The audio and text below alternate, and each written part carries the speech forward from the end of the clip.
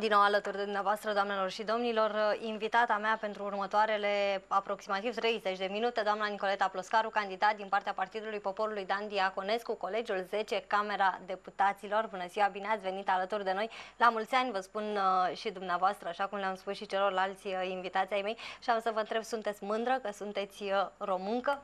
Sunteți mândră de România? Bună ziua, bine v-am regăsit! La mulți ani vă spun, vă spun eu dumneavoastră și telespectatorilor noștri care aleg la această oră să ne urmărească.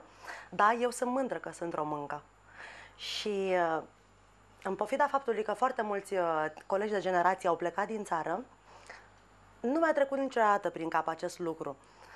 Și chiar uh, am devenit și o glumă pentru prietenii mei, Uh, care spun cam așa, tu ești genul de femeie care poți să mori și de foame, dar să mori în țara ta, deci nu vrei nici cum să, să, să pleci. Eu cred că putem să nu murim de foame în țara noastră. Totul depinde de noi. De asta am și ales să candidez. De asta mi-am dorit întotdeauna să candidez, pentru că nu este nicio noutate. Uh, Sigur că multă lume m-a întrebat de ce la PPDD, eu fiind țărănistă, ne fiind niciun, uh, niciun secret din acesta și nefăcând niciun, niciun secret și nici n-aș fi avut cum, eu ocupând toate funcțiile posibile la nivel de organizație de tineret, studenți și elevi pe unde am intrat. Uh, ca să intri în Parlamentul României, trebuie să candidezi din partea unui partid care are șanse, șanse să treacă pragul electoral. Mulți m-au întrebat dacă nu am trădat pe NCCD-ul. Uh, nu, nu am trădat pe NCCD-ul. Partidul Național Țărănesc m-a trădat pe mine prin liderii lui, pe care liderii putem vedea astăzi în traista lui Ion Iliescu și mă refer aici la Victor Ciorbea. Și nu numai. Sigur că ei au plecat în alte partide ca să se salveze și atunci ce avea de făcut o tânără ca mine? Să ce? Să nu mai facă niciodată politică pentru că nu aparține niciunui clan, niciunui grup de interese? Nu, trebuia să se exprime pe undeva. Uite că acest partid mi-a dat această șansă, Doamna le mulțumesc. Pascaru, aveați uh, de ales uh, între Alianța România Dreaptă, aveați, puteți alege și Uniunea Social-Liberală și, într-adevăr, Partidul Poporului Dan Diaconescu sau Partidul România Mare. Dar mă gândesc că cele două alianțe v-ar fi fost mai la îndemână și v-ar fi asigurat uh, cât de cât un loc în Parlament. Da. Uh, nu, aveam astea... cum să, nu aveam cum să aleg uh, Uniunea Social-Liberală. Nu aveam, pur și simplu. Eu sunt anticomunistă. Eu nu am cum să fiu în partidul lui Ion Iliescu sau asociată într-un fel sau altul cu partidul lui Ion Iliescu.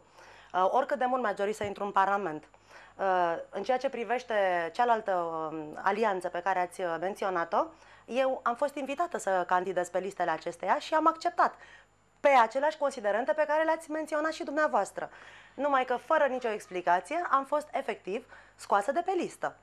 Și atunci ce trebuia să fac? Să mă duc acasă? Era singura opțiune. Era singura opțiune pe care am acceptat-o cu onoare și cu bucurie. Și îmi duc lupta până la capăt. Bun, pentru că tot suntem, uh, pentru că tot am ajuns aici și vorbim despre acest lucru, am să vă întreb ce părere aveți despre traseismul uh, politic. Dacă, știți că se tot discută în ultima perioadă să spunem stop traseismului politic, să-l interzicem uh, cel puțin pentru parlamentari. Ce părere aveți despre acest lucru? Dacă ați ajunge în Parlament, ați vota pentru interzicerea traseismului politic? Doamna, eu sper să nu mai votăm oameni, să nu mai intre în Parlament oameni care se gândesc numai să plece dintr-un partid în altul pentru a-și păstra funcția. Eu sunt dezgustată de acest lucru. Uh, mulți mă întrebau după ce o să intri o să pleci, cum o să plec? Un partid care mi-a dat această șansă, această onoare, această demnitate, să fiu membru al Parlamentului României, cum aș putea să plec? A, Doamne ferește, dacă partidul se dizolvă, se desființează sau își schimbă nu știu cum traiectoria, atunci uh, este, la, este opțiunea mea să-mi aleg calea mai departe. Dar atâta vreme cât lucrurile sunt în regulă și iar în acest partid, știți foarte bine, fiind un partid nou, n-a avut încă uh, șansa să se compromită sau să greșească, deci totul este în regulă. Bine, oricum mă gândesc că la PPDD oricum va fi mai complicat să părăsești partidul odată ajuns în Parlament, pentru că ați semnat, presupun că și dumneavoastră, acel uh, acord, nu? Contract, oarecum. Am semnat ca primarul, fără să, prim, fără să clipesc, nici nu m-a interesat ce semnez. Am încredere de plină în uh, președintele Gheorghe Slabu, nici nu mi-am pus problema în vreo secundă și v-am spus, nu am nicio problemă să semnez nu pentru 2 milioane, pentru 20 de milioane de euro, pentru că nu intenționez să plec. Să dea Dumnezeu să ajung în Parlamentul României ca să mă pot exprima. Și atunci s-ar putea să fie alții care o să-și dorească să, pleacă din parla- să plece din Parlamentul României, numai ca să, să scape puțin de judecată. Da, doamna Nicoleta Ploscaru, haideți să revenim un pic așa că suntem pe ultima sută de metri în campania electorală, mai avem doar uh, o săptămână. Da. Cum au fost celelalte trei săptămâni? Au fost uh, săptămâni de foc, ați muncit mult, ați alergat, v-ați întâlnit cu oamenii, v-ați uh, confruntat cu contracandidații. Uh, cu contracandidații nu m-am confruntat, deși, dar mai e o săptămână, cum spune și dumneavoastră, și sper să ne întâlnim pe undeva. M-am tot uh, uh, rugat de toate televiziunile și posturile de radio să, să ne invite la o confruntare. Am înțeles că alți um, contracandidați de-ai mei din Colegiul 10 s-au întâlnit pe la o televiziune, dar uh, cu mine nu vrea să se întâlnească nimeni. Uh, pe de-o parte îi înțeleg. Îi înțeleg. Este greu să te întâlnești cu cineva care a reușit în viața profesională, este greu să te întâlnești cu cineva uh, care are un uh, trecut curat, este greu să te întâlnești cu cineva și să explici uh, cum îți permis să mai vii după 16 ani de dormit în Parlament, să explici și să minți populația că tu vei face și vei drege. Este foarte greu. Am foarte multe întrebări pentru contracandidații mei. Ei Din au păcat... răspunsuri pentru dumneavoastră? Nu, ei n-au răspunsuri pentru nimeni. Și întrebările mele nu sunt ale mele pe care le gândesc noaptea și le exprim ziua. Sunt întrebările cetățenilor. Sunt întrebările oricărui cetățean normal, oricărui cetățean care, căruia nu poți să explici de ce după o viață de, de plătit uh, uh, CAS-uri, uh, asigurări de sănătate, se duce, se îmbolnăvește, merge la spital și spitalele nu au niciun fel de dotări. Este inadmisibil. Suntem în România Europeană în prag de 2013. Uh, aceiași cetățeni, uh, acelorași cetățeni nu poți să le explici cum trebuie să trăiască ei din pensia lor minusculă. Aici sunt problemele. E, acești contracandidați ar trebui să explice cu ce tupeu vin ei în fața alegătorilor și promit uh, aceiași oameni care au, au tot promis la fiecare patru ani. Și românii, noi românii o ducem din ce în ce mai greu. Nu eu sau dumneavoastră, poate că noi am fost mai norocoase. Dar credeți-mă că este foarte greu. M-ați întrebat de cele trei săptămâni de campanie. Au fost foarte grele. Și îmi doresc foarte, de-abia aștept să se termine această campanie. Este foarte greu să te întâlnești cu toate necazurile oamenilor. Uh, eu nu știu cum politicienii se prefac că nu le văd. Eu nu, nu știu cum dorm noaptea ei și familiile lor. Nu înțeleg cum se pot bucura, uh, pentru că, spuneam, ei au dreptul la sănătate, iar ceilalți oameni nu au dreptul la sănătate. Cum, se pot, uh, cum pot ieși ei în față, cum pot minți cu o nonșalanță, cu o nerușinare de, de neimaginat, de nedescris, văzând suferința acestor oameni. Nu vreau să fiu populistă, aceasta este realitatea. Aceasta este, nimeni nu vrea să o spună, dumneavoastră mass media, și să mai găsește câte un candidat ca și mine care exprimă vocea uh, realității. Și atât. Uite că suntem la antena, fără nicio... Da. Din păcate discutăm despre aceste probleme de foarte mult timp. Atât de lipsa medicamentelor, cât și de tot ceea ce ați... Da, noi um, discutăm și câinii latră și caravana trece. Da, da um, am să vă întreb, ajungeți în, dacă ajungeți în uh, Parlamentul României, uh, care sunt, nu știu, primele trei proiecte pe care le veți iniția? Aveți niște proiecte de suflet? Da, doamnă, eu să ajung sigur în Parlamentul României ca și deputat, nu ca și vizitator. Ca și vizitator ajunge oricine, uh, ca și deputat, cu siguranță, după 9 decembrie. Uh, singura mea temere vis-a-vis -vis de acest lucru este, vă amintiți probabil la fel de bine ca și mine, uh, eu acum nu pot să dorm gândindu-mă la acea declarație, pentru că acum sunt și candidat, nu mai sunt un simplu cetățean, un simplu alegător. Declarația lui Victor Ponta la alegerile precedente, potrivit căreia mașinăria lor de furt furt de voturi a funcționat mai bine decât a noastră. Vă amintiți? Cu siguranță vă amintiți. Nimeni, nimeni nu l-a tras la răspundere pe Victor Ciorbea. Au fost câțiva ziariști... Pe Victor Ponta. Pe Victor Ponta, pardon. Da, am rămas cu defecte sechele țărăniste. Pe Victor uh, Ponta nimeni nu l-a tras la răspundere, decât câțiva amărâți de ziariști pe care nu-i bagă nimeni în seamă, pentru că politicienile sunt superiori. Și ei credeți, că oamenii, de... credeți că oamenii nu știu uh, aceste lucruri, că nu le conștientizează? Uh, Stimată doamnă... Nu credeți că se adună acolo undeva multe dintre gafele, de ce nu da, se adună, spune mare politicienilor și, și la un moment dat da, sunt sancționate? Vine, ba da, sunt sancționate prin uh, neprezență la vot. Pentru că oferta electorală este atât de jignitoare pentru orice votant, încât ei preferă să stea acasă. partidele vin și haide să ne uităm puțin, dar nu vreau să dau exemple. Nici nu sunt contra... Dar vi se pare normal să avem un parlament și uh, candidați formați din fini, nepoți, uh, uh, fii și fiice, soți, soții? Vi se pare normal? Vi se pare normal ca uh, cei doi copreședinți ai Alianței USL să aibă soțiile, cele două soții uh, europarlamentari? Dar nu mai sunt Acum- oameni în România, nu sunt oameni. Pentru Bine, că pe poate, ei că, i-am tot văzut. poate sunt oameni pregătiți. De ce să... Păi i-am văzut cât sunt de pregătiți, vedem cum trăim. Am văzut, uh, am văzut Da, cât doamna de... Ploscaru, pe Da. ce vă bazați când spuneți că sunteți sigură că veți ajunge ca deputat în Parlamentul României? Cine să câștige, doamnă? Mădălin Voicu? În centrul orașului Constanța, Mădălin Voicu să câștige? Mădălin Voicu care s-a plimbat cu cortul dintr-o circumscripție în alta ca să-și salveze poziția de deputat, Mădălin Voicu care este la televizor și vorbește cu o nonșalanță, mie nu-mi vine să cred. Deci el vorbește foarte, este foarte simpatic, dar el poate nu-și dă seama că el e deputat în Parlamentul României. El nu este uh, un consumator de cancan ca să facă cancan la televizor. Zilele trecute l-am urmărit fără să vreau și puțin cu dorință și puțin cu întâmplare. Uh, Spunea, fraților, încetați să mai furați, uh, ați furat destul, uh, înțeleg să furați câte un milion, două, dar voi nu vă mai săturați, vezi câte o sută de milioane. Ce declarație este aceasta? El este deputat în Parlamentul României. Ce declarație este aceasta? Ce știe dumnealui și nu știm noi? Să vină să ne spună mai multe, să ne dea mai multe detalii. Dumneavoastră, ca jurnalist, puteți să spuneți asta. Uh, Un pensionar poate să spună treaba asta. Domne, au furat, m-am săturat să văd un politician care în patru ani de mandat de consilier local, de consilier județean sau parlamentar sau orice altceva sau o funcție de directoraș pe la stat s-a îmbogățit de nu se mai poate. Înțeleg. Dar să vină un deputat în Parlamentul României.